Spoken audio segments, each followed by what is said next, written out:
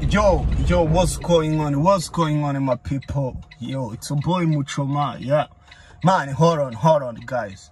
Hari ikintu nshaka kubabwira uyu munsi muri iki gitondo mise numva I think mfite spirit ndi kumva nabwiriza man kuva nabwiriza ariko sinshobora kubwiriza nka nk'abapasiteri guys guys let me give you just a real story man kugira ngo mwumve aho ndi gushaka kugana sibyo ayi guys guys mu iwacu guys nakuriye na na ntago navukiye ariko nakuriye byibuze mu bwana bwanjye nabayeho struggling man muri rwerere ahantu mu rwerere guys.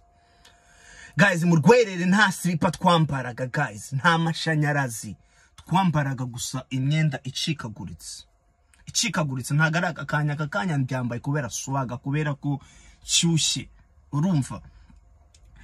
Guys was no hope. My mom nta nta hope yagiraga telling you guys. And then actually let me ni cyo nshaka ntabwo nari natangira kubabwira ikintu nshaka kubabwira guys. Guys icyo nshaka message nshaka kubabwira just hold on just muyumve muyitegereze muyumve neza. Abc ukuntu bimeze. Guys najyaga njya ku ishuri. Abarimu banjye ukuntu bari bameze ndaza kubagarukaho no worry. Guys and then nari ndareba ndareba mu bantu bose nzi. Mbona umugabo umwe ntabwo ndi bumuvuge shout kuri we. Ni umuvandimwe ni nka bofu. Ntabwo ndi bubijyemo cyane. Ntabwo yigeze agira amahirwe kujya ku ishuri. Yarize nyine ariko ntabwo yize ngo arangize nyine ko akunda abantu benshi. Tujya twumva ko kwiga. Ukarangiza nyine ari bwo buzima ari bwo ushobora gutera imbere. Aha uwo mugabo yari ameze neza. Teringi yari ameze neza kuko nifuzaga najyaga nifuza ati uriya icyama icyama akaba papa wanjye. Nari kuba ndiho neza. Mbo uwo si umwe? Haya ndatekereza nkajya mbona abandi bantu ba shangazi banjye. Ndagushaka kukubwira abantu bampinduriye ubuzima. And now actually ushaka abantu ushobora kuguhindurira ubuzima. Period. That's it. I'm going to tell you. Mbona abashangazi banjye babaga i burayi. Bakajya baza mu rwanda guys. Bameze neza basa neza bakeye ba- ba- bagurira inzu tate. Urumva? Bagurira tate wanjye inzu bashangazi banjye nyine ni muri kandi yego ni bashangazi banjye urumva? Ariko twari dufite big family cyane. Numva ngo bari baragafashe byari kuba bigoranye kuba ako kantu kari gushobora kuba kari guhita kangeraho nyani straight kuko hari abandi benshi nyine responsibility zari nyinshi cyane urumva?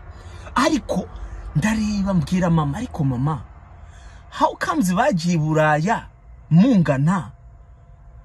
Twe tukaba tuba ahantu mu rwere tustraguringa ariko ngiye nkabona baza bameze neza. Mama kuki utafashe iyo decision nk'iyo ngiyo ngo wowe utekereze kujya i burayi ah ibyo yambwiye was not ntago ntago nanyuzwe n'igisubizo ariko ndamubwi nda ku mutima ndavuga ati you know what?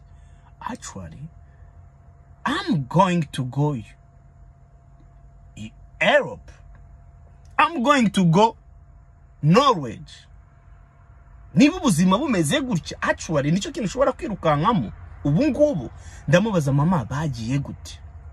Arambwira ati "Ba- icyo nzi bavuye congo baragenda banyura za bajya za uganda abcd bla the rest ni, dis, ni, ni, ni, ni, ni story. Bajya hanze bajya i buraya. I'm like damn. Niba hari umuntu umwe utarize arakira. Undi abandi bajya i buraya. You know what? Actually i think this is the best decision. Nshobora gufata mu buzima bwanjye. Kubera ko abo ndi kubona barize ari bo ba- barimu banjye actually ni ba kanyota baza bambaye inkweto zahengamye. Izi ni cyo nifuza gukora mu buzima bwanjye? Ndavuga ati no actually ntabwo nshaka kwiga. I was like, man, my mama was like, this kid is crazy. Everyone my family bari bari kuvuga ati, oh my goodness. Uyu mwana arananiranye abaye mayibobo, uyu mwana arananiye ntacyo azimarira. Mama abona ati, aruzinga no no hope. kuko yifuzaga ko nagenda nkiga ngo nkaba nkagira amafaranga kumva ko ubukire nzabugira narize ariko actually njye maze kuvumbura icyo kintu ku myaka cumi n'itatu 13 years 13 years old bro niyo ni bwo namaze kuvumbura icyo kintu right now actually. School is that is that shit. Ntabwo ndi gupromo ntabwo ndi ku ntabwo ndi kunenga ishuri guys utega amatwi gusa wumve aho story yanjye ndi kuyigianisha ndetse nawe uze kurebamo ikintu. Gusa ikintu kibabaje uzi ni what? Iyi ni inspiration guys ngiye kubahereza kuri true must true story but abantu ni bangahe bari buyirebe se guys? They don't even care. And then actually 99% they just complain their life. Guys ndareba ndavuga ati you know what? Ndagiye. Njya kuri street. Abantu bose buzura crazy. Ndagiye ku muhanda. Ngiye uganda. Bro ngiye uganda. How much money nari mfite? Guys nari zero zero zero. Ndavuga ati you know what? Ngiye kujya uganda. Guys nagiye uganda. Ntumbaze ngo nagiye gute? Amafaranga nayakuye he? Nagiye uganda gute? Ahantu ntazi. Ku myaka cumi n'ine. Cumi n'ine 14 years bro. I'm going to ask you guys muri mwebwe muri kureba ninde ushobora gufata decision nk'iyo ngiyo? Guys ninde ushobora gufata decision akava mu rugo wawe ku myaka cumi n'itanu akajya kuri street? Agafata iyo decision kuri passion ye bitewe yuko amaze kubona vision n'icyo ashaka kwimarira mu buzima. Who? Ni bakeya. That's why you guys you fucked up always. You always complain. I'm telling you guys. You fucking complain president guys you fucking complaining my mom. You fucking complaining your dad. You fucking complaining your husband your wife. You fucking complain life. Everything man mura complaining complain complain complain complain. Yeah you complain yes. Actually i'm telling you right now. Complain they say you complain about president. Oh oh my goodness. President i'm telling you he doesn't want to quit. No no no no. Nta nubwo azakwitinga man. I'm telling you nta nubwo akwitinze aka kanya. Sinzi n'uburyo direction yijyanyemo. Ariko icyo nshaka kukubwira ni kugira ngo ubone view nziza. Nta urashaka gukomporeninga mu ubuzima? Guys ubuzima still ni ubuzima buracyari hano. Ubuzima ntabwo bugomba guhinduka. The we never change ubuzima ntabwo buhinduka. Ubuzima uri kubona ni ubu ngubu icyo ushobora gukora ni kimwe. Only kimwe kimwe kimwe. It's you ugomba guhinduka mu myumvire mu gukora mu kubyuka kare mu kwitanga mu kugira urukundo positive vibe zishobora gutuma uhindura ubuzima bwawe guys. I'm telling you right now. Nabyutse saa ngapi? Aka kanya 6 turi 6 am guys amasaha amaze kudrivinga aka kanya. It's crazy. I'm driving almost 4 hours. Guys you see I'm no complain because ndabizi icyo icyo ngomba icyo ubuzima kigomba icyo ngomba gukora muri ubu buzima. It's me only me. Ubuzima they don't give a fuck. Ubuzima ntago bundeba ntago bunyumva ntago bunkunda. I'm only person ugomba kwikunda guys. I'm always telling my sisters man. Sisters. Utu tucipe uri ushaka gukina natwe cyangwa ukumva ko oh my brother oh my brother ashobora kumfasha oh my brother my brother my brother oh cyangwa my boyfriend oh my husband oh my wife whatever it is. Guys nta muntu n'umwe ku isi bro. I'm telling you nta muntu ku isi umwe uwo ari we wese. Who doesn't care you more than ushobora kwikeyaringa i'm telling you. If you complain someone he doesn't love you. Right now? Right now? He doesn't love you you fucking better love yourself. I'm telling you right now. I'm telling you. Gusa guys nta nubwo ari n'ahanga nashaka kubajyana aho nashaka kubajyana nashaka kureba. Guys young young brothers my sister my young sisters bari kubaho muri ubu buzima bakeyaringa abandi bantu. Bari gushaka gushimisha my mom bashaka gushimisha their family bashaka gushimisha inshuti zabo bashaka gushimisha whatever it is bashaka gushimisha boyfriend cyangwa girlfriend. Bagatekinga decisions bakavuga ati ni urugero urashaka gushaka urashaka kujya aba let's say doctor. Ushaka kuba doctor. Abandi barashaka kubwira jya kuba jya kuba umucuruzi kandi you doesn't feel that one. Oh urashaka kuba umucuruzi? Bo barashaka kukubwira go kuba doctors.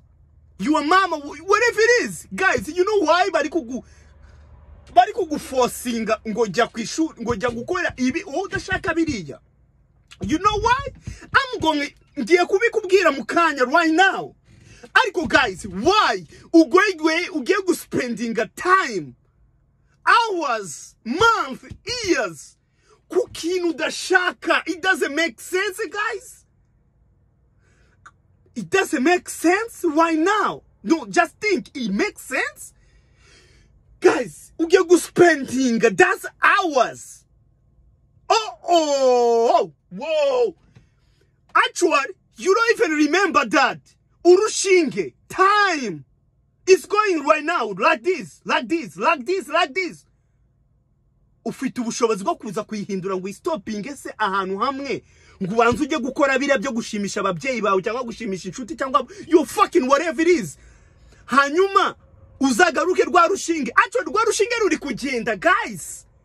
Uraza gushiduka ufite 30 years 4 years with nothing. Kuko nujya gukora ibintu bidafite passion yawe. Udakunze. I'm guarantee you guys you, you will fucked up. Ntabwo uzabiteza imbere ibyo bintu. Guys icyo nshaka kukubwira sasa is umuntu wese ushaka kukujyana muri direction ushaka kujya udashaka kujya actually it's him. Ntabwo ibyo uri kujya gukora ntabwo ari wowe ni we ni we uri kujya kubikorera kubera ko byaramunaniye. Cyangwa se arabikora ariko ni byo akunda. Uri gushaka gushimisha wa muntu cyangwa urashaka gukora ibyawe? Esike mu buzima ubuzima ni ubwawe cyangwa ubuzima ni ubwe? Just think about that. I'm not telling you reka kutubaha ababyeyi reka kutubaha uwo ari we wese. No. Actually we respect them. We love them right? Ariko se urashaka gushimisha inde muri ubu buzima? Inde. Esike ugiye kuryama ukagira agahinda mu buriri. Do you really think hari umuntu ujya wumva ubuzima bwawe kurusha uko wabwumva? No no I'm, let me go back. Guys decision I'm taking buri wese yaravugaga ati umwana mucoma azabi ni igihararumbu uyu mwana ntacyo azimara uyu mwana ni mayibo umwana aratunana imama agifing up mu buzima. Abona ko imfura ye iramunaniye.